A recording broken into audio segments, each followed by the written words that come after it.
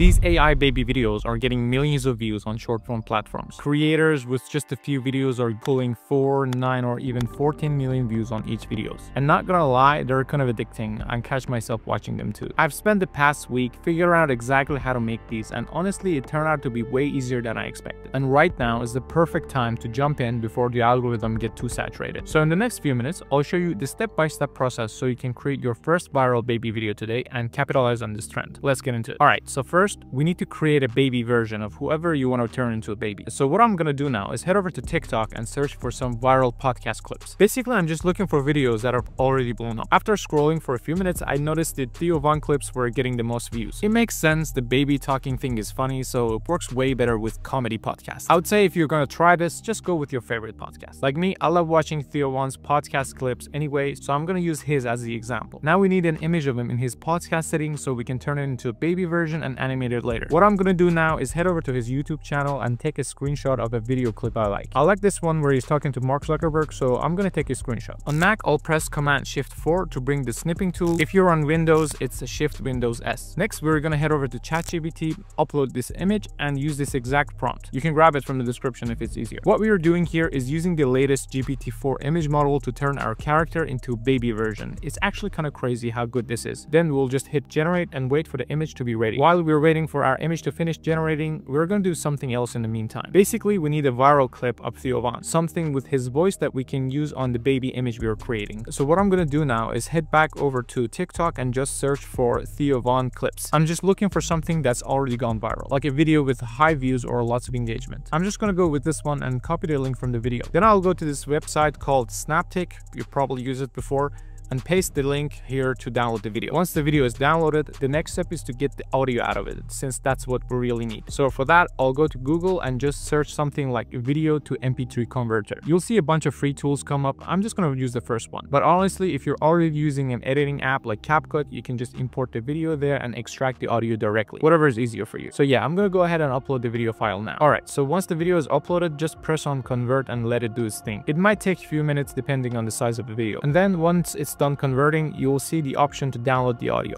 I'll just hit download and save that audio file to my computer. We'll be using that in the next step. Okay, so our image from ChatGPT is ready and here's the results. And honestly, it looks really good. Like it's super realistic and it kept all the main features from the original photo, which is kind of crazy. Now, before moving on, make sure you're actually happy with how it looks because this image is basically the foundation of your whole video. If something feels off, no big deal. Just tweak the prompt a bit, maybe describe the background more clearly or be more specific about the outfit. And don't forget the original photo you use matters a lot. If it's well lit and the face is clear, you're gonna get way better results. Once you've got that locked in, you can easily do the same thing with your own photo for anyone else's, depending on who you want to turn into a baby version. So for this example, I made a baby version of myself. What I did first was upload a photo of me in the same chat and ask it to do the same thing. But for some reason, ChatGPT turned into a 3D animation style. So I just copied the same prompt and started fresh in a new chat. And yeah, it didn't disappoint. The results was actually really good. Alright, so now we've got our image and the voiceover ready. The next step is to animate the image and sync it with the voiceover so it actually look like the baby is talking. For this, I'm gonna be using Hedra AI. It's honestly one of the best tools for this kind of thing. Alright, so let's head over to Hedra.com and sign up. It's free, you just need your email. Once you're in, it will ask you what you want to create. In our case, we're making a video, so I'm gonna go with video. And they give you 300 credits every month to generate videos and images. Here's what we're gonna do. We'll upload the voice file and the baby image and Hedra will take care of the rest. It's gonna turn that image into a talking baby using the voice be uploaded. Also, make sure the aspect ratio is set to 9 by 16 since we are making vertical videos for short form platforms like TikTok or Reels. Let's upload our voice first. Click on audio script, hit upload audio and select the voice file we extracted from the Theo Von clip. Now, if you're using the free plan, just a heads up, there is a limit on how long your video can be. It's usually around 20 seconds, which is actually perfect for short form content. So now I'm just to trim the voice clip and bring it down to around 20 seconds, just to make sure it fits within the limit. But if you're trying to make something longer, you got two options. Either upload your plan or just create a few clips and stitch them together later when you're editing. Honestly, if you're planning to keep doing this and you want to make it more seriously, I'd say it's worth upgrading. It's not that expensive, like around 10 bucks a month for the starter plan, and you will get way more value for your money compared to a lot of other AI tools out there. Anyways,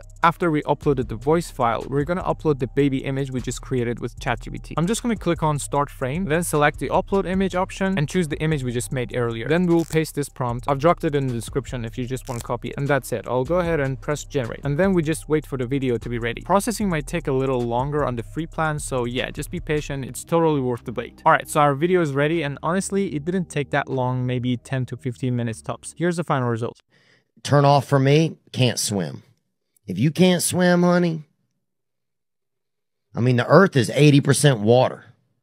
So if there's, you know, if there's a tsunami and you trying to get on my back, bye, bitch. I'm doing me.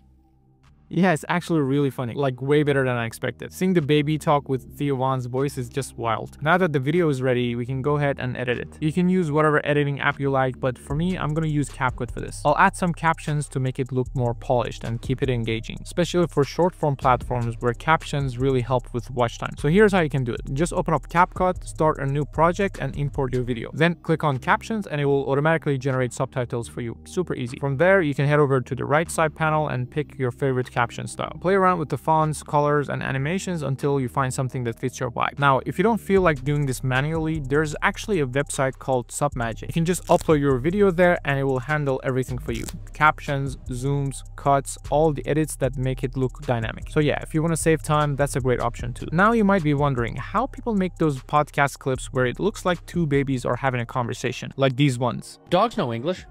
Dogs know the language in which you speak to them. You go to Mexico, they speak Spanish. Oh, really? What's a Mexican dog sound like? Hey, bark, bark.